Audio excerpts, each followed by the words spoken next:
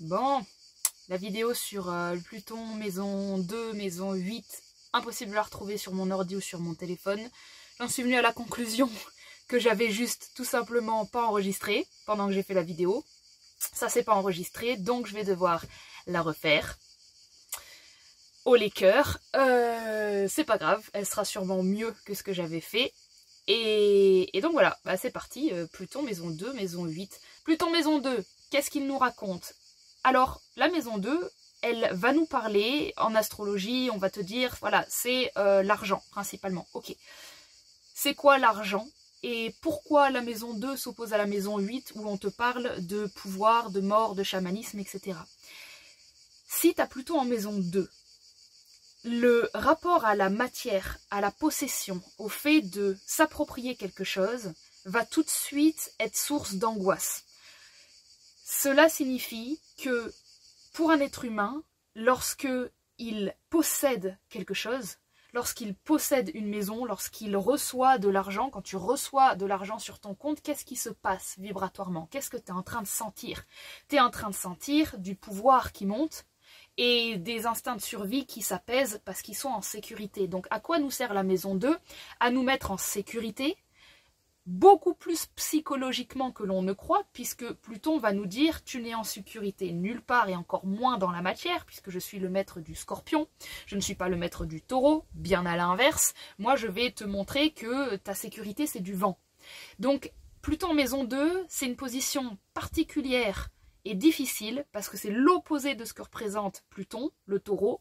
C'est un endroit où nous devons nous convaincre que nous sommes en sécurité dans notre corps, et dans une maison pour pouvoir vivre notre incarnation sur Terre correctement. C'est comme si la réalité de l'énergie de Pluton qui dit nous, nous sommes énergie avant d'être matière, quand elle se pointe dans la maison où toi t'es bien content, t'as fait ton taf et t'as bossé et t'as ton énergie à toi et on te dit bah non à n'importe quel moment euh, je peux t'éclater en mille et tu redeviens des atomes et des particules, ben vivre avec cette conscience euh, au sein de l'endroit où tu es censé te sécuriser avec la matière et l'argent, c'est compliqué et ça va donner des personnes qui vont sentir à chaque instant le côté euh, inutile des sous alors qu'elles essayent d'en avoir. Ça va donner des, conflits intérieurs et des paradoxes dans la vie de ces gens qui vont pouvoir être fortement dans le consumérisme, c'est-à-dire euh, j'achète, j'achète, j'achète. C'est pas tout à fait pareil que le consumérisme dont j'avais parlé en maison 5, qui est plutôt ici consommer du plaisir immédiat. Là, je suis sur vraiment acheter en maison 2 et dans le dans l'action d'acheter, qu'est-ce qu'on retrouve? On retrouve le, la compulsion du pouvoir, la compulsion de mettre, de mettre, de mettre. C'est pour ça qu'on a aussi la nourriture en maison 2, c'est l'acte de manger. En maison 6, on va avoir beaucoup plus euh, l'hygiène de la santé, la, nourriture va être reliée plutôt, on va appeler ça de l'alimentation, la manière dont on s'alimente. En maison 2, c'est l'acte pur et dur de mettre quelque chose dans sa bouche. Et qu'est-ce qui se passe quand on met de la matière dans sa bouche? Ben, On se sent plus matière. Donc un Pluton en maison 2, c'est comme si c'était un peu un, saut percé. Il met, il met, il met dans la bouche, et en fait, euh, ça s'en va c'est pour ça que symboliquement, on, peut retrouver les problèmes liés à l'anorexie en maison 2. L'anorexie, euh, tu manges, tu manges, tu manges, et en fait ça tient pas. Le corps continue de maigrir. Pareil avec la boulimie, euh, c'est finalement exactement le même axe. On mange et la matière grossit et ensuite tu te fais vomir et donc c'est censé partir. Parce que Pluton à cet endroit-là, il te montre que la matière n'a pas de forme. Il te montre, tu peux être gros, mince, petit. C'est, c'est, euh, euh, il y, a un lien avec l'apparence et le corps dans cette maison. On peut avoir euh, des corps particuliers. Donc finalement, si la matière peut autant bouger, c'est-à-dire venir et partir et que tu n'as pas de contrôle dessus, c'est ce que la lucidité de Pluton amène en maison 2, c'est finalement on est en lien avec le fait que, que l'argent ne, est une énergie qui nous échappe, qu'elle n'est pas un but, qu'elle est, littéralement juste de l'énergie, on va avoir peur de posséder quelque part. Inconsciemment, euh, on peut euh, avoir des rentrées d'argent d'un coup qui s'en vont et on est un peu observateur de ce truc euh, sur lequel on n'a pas de contrôle et on peut s'épuiser à essayer d'avoir du contrôle, mais du coup, généralement, vu que c'est un endroit Pluton où, souvenez-vous, on se sent en impuissance, on se sent en victime. Euh, là, on va donc partir en maison 8, on va surdévelopper la maison 8. De quoi nous parle la maison 8 Eh bien, là, c'est un endroit où on va se mettre à l'aise dans un monde qui n'est qu'énergie. Voilà, euh, c'est beaucoup plus euh, confortable de se rendre compte que, bon, bah, puisqu'on est tout énergie, autant s'intéresser à des choses qui ne sont pas matérielles comme par exemple la psychologie. Euh, t'intéresser à la psychologie, ce n'est pas t'intéresser à avoir de l'argent, c'est t'intéresser à aller euh, modifier des structures de pensée, c'est de l'alchimie, donc c'est la maison de l'alchimie, c'est la maison du chamanisme, c'est-à-dire qu'on peut discuter avec euh, d'autres fréquences, d'autres mondes, on peut, on peut amener on, peut, on, a un pouvoir par rapport à de l'énergie. Il y a le magnétisme, il y a le reiki, il y a toutes les thérapies énergétiques, il y a dans cette maison aussi les banques. Pourquoi il y a les banques? Parce que les banques sont des organismes qui transfèrent de l'énergie, pas de l'argent. Tu les vois pas transférer réellement de l'argent, de la matière, c'est informatisé. Donc ce qui se passe, c'est que cette énergie qu'il y a sur la banque, elle peut aussi te manipuler. Elle peut, euh, te dire, voilà, je te mets beaucoup d'argent, tu te sens riche, je t'enlève de l'argent, tu te sens pauvre. Et ça, ça impacte la psychologie. Donc quelqu'un qui a plutôt en maison 2, euh, au-delà de toutes les difficultés qu'il peut avoir dans l'apparence corporelle, dans vraiment cette sensation qu'il n'est pas en maîtrise de son corps, que, euh, des choses le traversent.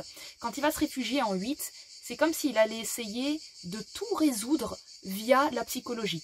Comme s'il il était persuadé que quelque part, euh, la matière, ça n'avait plus vraiment d'importance parce qu'on en était démunis, que c'était pas à nous, et que, et que cette conscience que, que rien ne reste finalement, eh ben, elle est quand même euh, atténué en maison 8, on a beaucoup plus la conscience que ce qu'on fait, ça a de l'impact en maison 8, parce que quand tu changes la vie d'une personne grâce à une prise de conscience, bon, bah t'as l'impression que ça a de la valeur et que ça dure. Et quelque part, c'est vrai. Mais si on a une maison 2, c'est pas pour rien, c'est parce que euh, il faut que cette, euh, cette psychologie s'incarne dans un corps. Sinon, tu te retrouves dans une matrice qui n'est que psychologie si tu n'as pas la conscience de chaque corps est individuel, chaque énergie est individuelle, en maison 8, tu vas très vite avoir l'impression que ben, quand je dis quelque chose, ça a un impact sur toi, j'ai du pouvoir sur toi, je peux te manipuler, c'est-à-dire que en maison 8, on va être dans, le, dans cette sorte d'immense matrice où tout n'est qu'information psychologique, où tout n'est que discussion avec des autres royaumes, et plus personne n'incarne son corps avec sa pensée, ses goûts, ses envies, euh, comment tu as envie de décorer ton intérieur, tout ça, ça n'est plus en maison 8. Donc quelqu'un qui a plutôt en maison 2 et qui file en 8, il va finir par être donc très bon dans la conscience de la pensée, il va être très bon dans ressentir les choses avec son corps, il va être très bon dans, le, dans les perceptions euh, énergétiques de la vie, il va être sensible, euh, il peut être susceptible, il peut être... Euh, euh, en tout cas, il va maîtriser le scorpion qui est une psychologie suffisamment fine pour obtenir ce que tu veux dans la vie. C'est-à-dire que ce que tu vas obtenir, vu que tu n'as pas le droit de le toucher via l'argent, tu vas le toucher via la manipulation. Et il n'y a pas de maison 8 sans manipulation, c'est un peu automatique dans le sens où quand on est thérapeute, on manipule. Hein. on vient manipuler des peurs, des pensées. Ce mot-là, pour il, est, il est très mal connoté, manipulation, mais si on le dépolarise, euh, il faut être sincère, on l'utilise tout le temps et partout parce qu'on a un objectif, on doit amener la conscience vers cet objectif. Il y a un inconscient qui est entre nous. L'inconscient, il va falloir négocier avec, il va falloir manipuler pour arriver au point de vue de la conscience. Donc, les gens qui sont partis en maison 8, le truc, c'est qu'à force de penser qu'ils peuvent tout obtenir simplement par la parole, ils vont avoir des retours de karma qui peuvent être euh, parfois euh, qu'ils vont sentir injustes ou qu'ils ne vont pas comprendre, avec beaucoup de malentendus, avec des gens qui restent dans leur vie et qu'ils ne comprennent pas pourquoi ils sont encore attachés. En fait, la maison 8, c'est l'endroit où le, le corps échange de l'énergie avec les autres. Et si tu n'as pas en maison 2 construit une autonomie corporelle en termes d'énergie individuelle, tu vas te retrouver éclaté en maison 8. Cette énergie individuelle, elle se manifeste par avoir ta propre terre, ton propre terrain, ta propre maison. Euh, avoir de l'argent, en fait, n'est qu'une manifestation d'être en autonomie dans ton énergie, de savoir déjà dire non avant de pouvoir dire oui, c'est-à-dire de déjà pouvoir fermer tes frontières en taureau, en deux, pour pouvoir être en maîtrise de ce qui rentre et de ce qui sort, et seulement une fois que tu as maîtrisé une énergie à un niveau individuel, tu es en sécurité d'aller dans une matrice collective. Et dans cette, euh, dans cette matrice collective, tu vas pouvoir choisir à nouveau de te laisser traverser par, et même si tu choisis pas, en tout cas, il y aura une sorte de, conscience de corps individuel qui va te permettre de beaucoup mieux vivre les émotions qui t'arrivent et de ne pas te sentir euh, euh, envahi, puisque dans la maison 8, on va retrouver beaucoup d'envahissement. Donc les gens qui ont plutôt en maison 2, ils peuvent avoir de la difficulté à trouver un terrain stable, à trouver leur propre maison, leur propre terre. Ils peuvent euh, avoir euh, une, sensation que tout ce qui est de l'ordre de la matière leur échappe et euh, une tendance à essayer de, tout régler euh, via les thérapies, via comprendre sa psyché. Et il y a un peu un piège parfois dans ne passer que par la psychologie pour comprendre les choses, parce que de temps en temps, c'est en fait quand en maison 2, tu vas créer ton, ton corps, tu vas créer un corps physique, que toute la psychologie va se régler, tu n'auras plus besoin de réfléchir aux choses parce que le corps physique va s'en charger. C'est le corps physique qui va se charger de faire des tris entre toi et l'autre et entre toi et le monde. Si tu ne l'as pas, tu vas devoir tout faire tout seul en maison 8. Tu vas devoir tout seul être celui en charge de faire des tris de est-ce que l'autre il me veut du mal? Est-ce que c'est moi qui l'impacte? Est-ce que j'ai En maison 8, on croit vraiment qu'on a du pouvoir sur l'autre et on croit que l'autre a du pouvoir sur nous. Ça, on en est persuadé, on l'a expérimenté avec le corps, on rentre dans une pièce, on sent ce qui nous arrive, etc. Mais oui, mais c'est parce que tant que tu n'as pas un corps physique qui circule, qui est stable et qui est ancré, parce que la maison 2, ça va parler beaucoup de centrage, euh, eh bien c'est normal que tu vas, te sentir éclaté dans la matrice et donc envahi de toutes parts. Donc la maison 2, hyper important, c'est pour ça qu'on retrouve aussi la cuisine dedans, parce que c'est un moment de centrage, c'est un moment où tu t'occupes de tes énergies individuelles.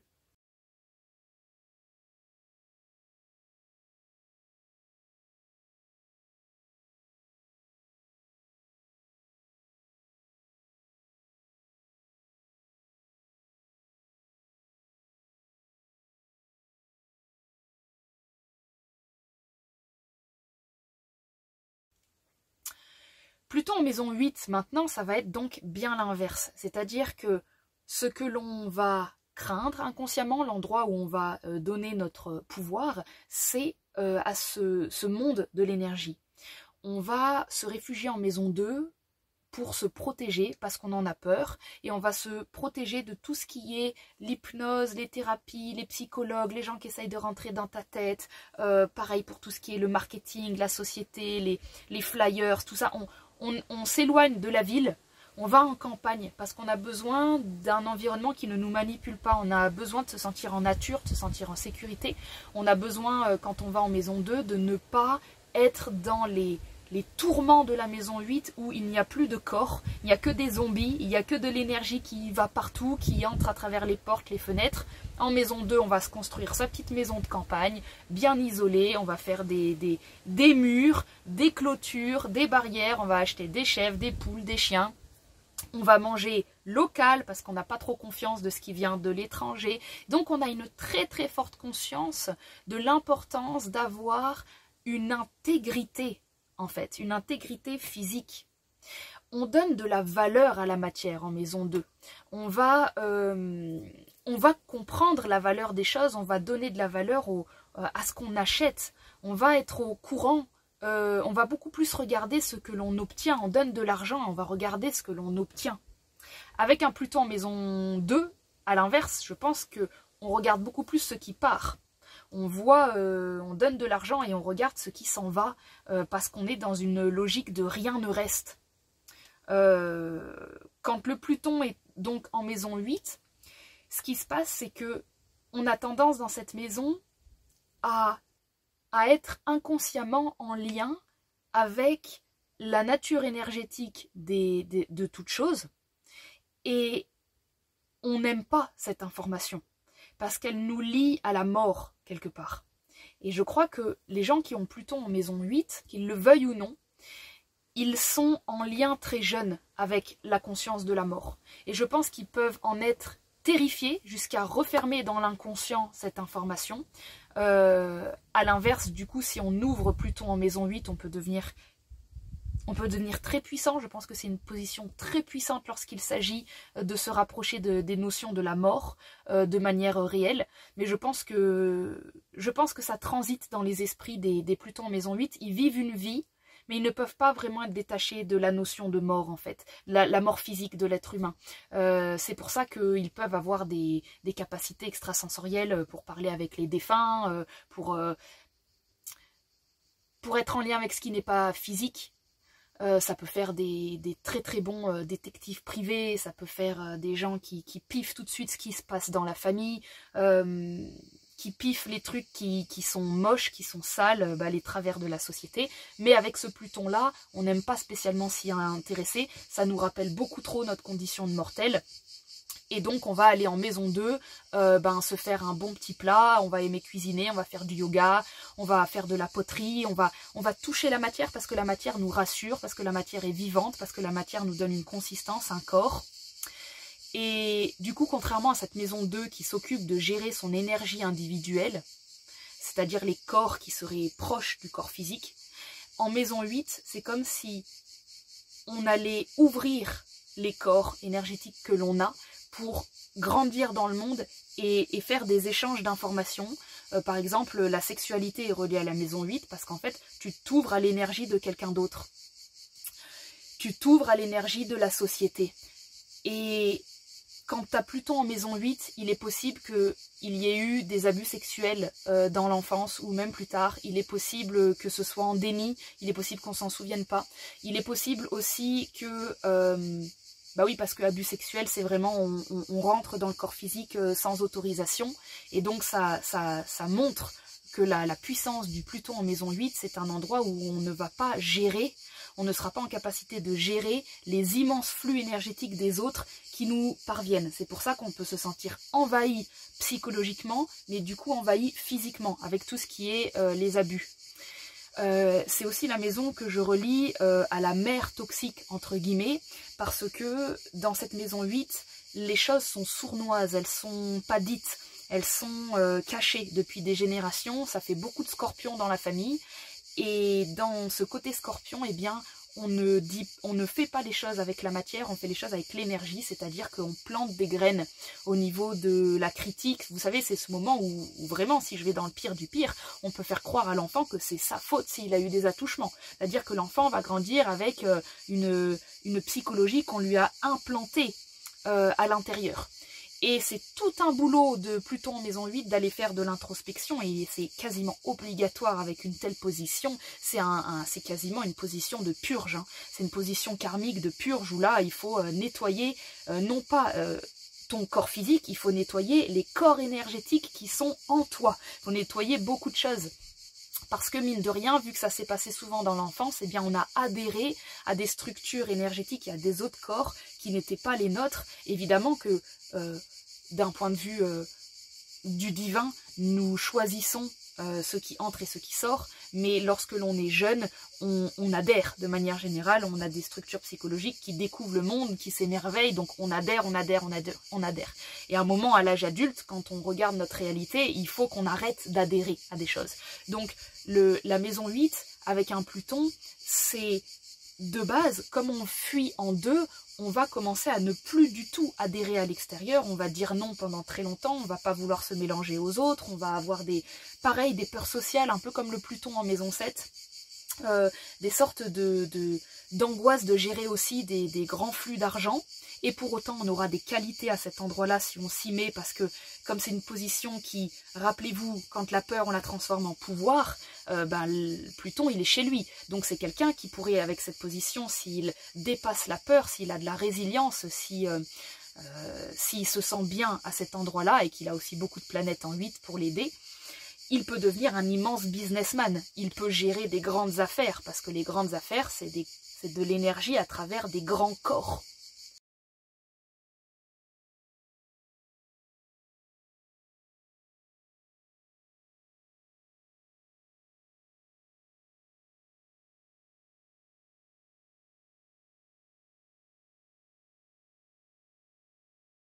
La maison 2, c'est vraiment grosso modo ton petit corps d'humain. Et la maison 8, c'est les gros corps énergétiques de toutes les autres infrastructures. Et il y a des échanges d'énergie. Donc un Pluton, à l'inverse du coup un Pluton en maison 2, à cet endroit-là, lui, il va avoir peur de se créer son propre corps physique. Il n'y croit pas, il ne croit pas en sa matière, il ne croit pas non plus en ses talents. Pourquoi est-ce qu'on dit que c'est la maison des talents, la maison 2 bah, Parce que la maison 2, si elle parle de, ton corps physique et de ton énergie individuelle, si, imaginons, ta maison 2, elle est dans un signe d'air, ça veut dire que c'est le côté intellectuel, le côté de la, oui, le côté intellectuel, qui va le plus être en lien avec ton corps physique, qui va être le plus être en lien avec comment est-ce que tu gères ton énergie personnelle. Donc, quelqu'un avec un signe d'air en maison 2 va beaucoup utiliser sa réflexion pour gagner de l'argent, pour créer de la matière. La maison 2 nous dit, grâce à ta propre énergie personnelle, tu peux créer de la matière autour de toi. Euh, si tu as euh, la maison 2 avec de l'eau, eh bien c'est via le ressenti, via l'énergie, via l'émotion. Euh, c'est à travers cet élément-là que tu vas créer ton argent, ton revenu, qui va te permettre d'avoir de la matière autour de toi, etc. Si tu as Pluton en maison 2, c'est comme si tu avais du mal à donner de la valeur à ce, corps qui est capable de pourtant, avec ses mains, avec son intellect, avec, avec tout ce qu'il possède, t'approprier des choses. On a, on a du mal à se dire qu'on pourrait mériter un jour une grande maison. On a du mal à se dire qu'on pourrait avoir beaucoup de sous sur le compte en banque. Et pourtant, on en veut. Hein. On en veut en maison 2, c'est le but. Hein. On veut de la matière. Mais avec Pluton, c'est un petit peu comme Pluton en maison 5. Vous savez, on ne se donne pas la valeur dans notre partie artistique.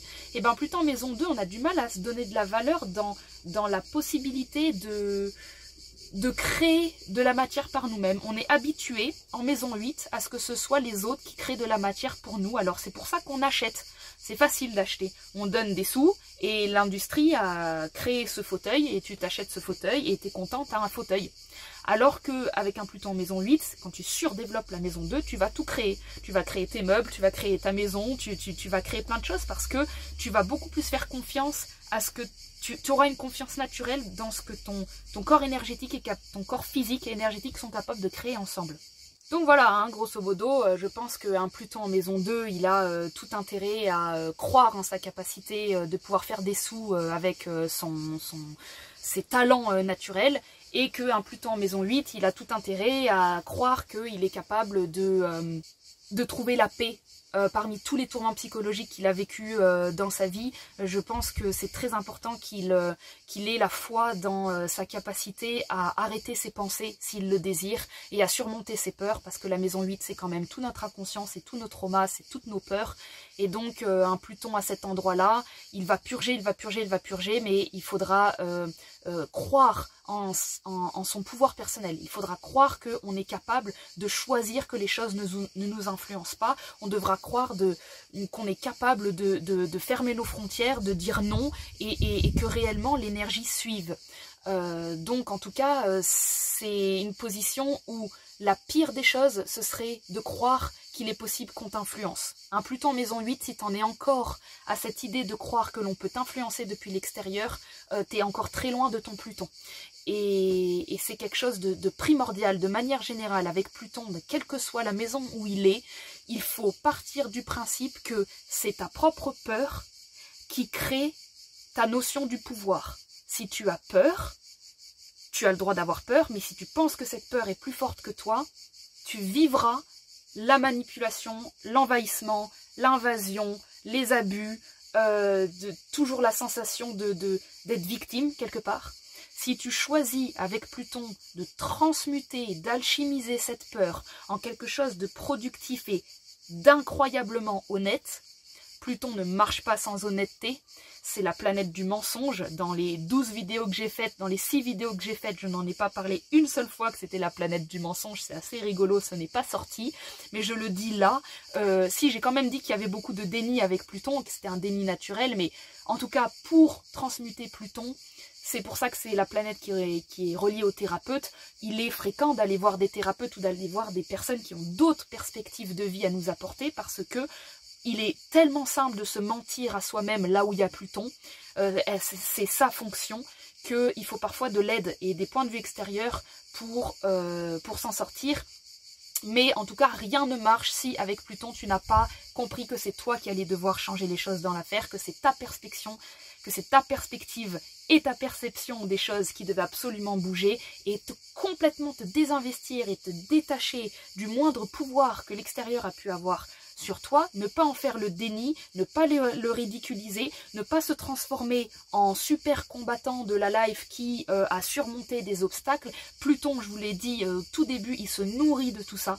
Tout ce que tu projettes sur Pluton, hein, c'est la planète des projections, tout ce que tu projettes sur Pluton, il le bouffe. C'est une machine à manger et à renouveler et à recycler. Pour ne pas tomber dans ce vortex et dans ce trou noir, il faut s'abandonner à Pluton. Il faut mourir en orgueil à l'intérieur et se rebooter, repartir à zéro, se réinventer, se renouveler, se redonner une personnalité, rechoisir comment on va percevoir le monde.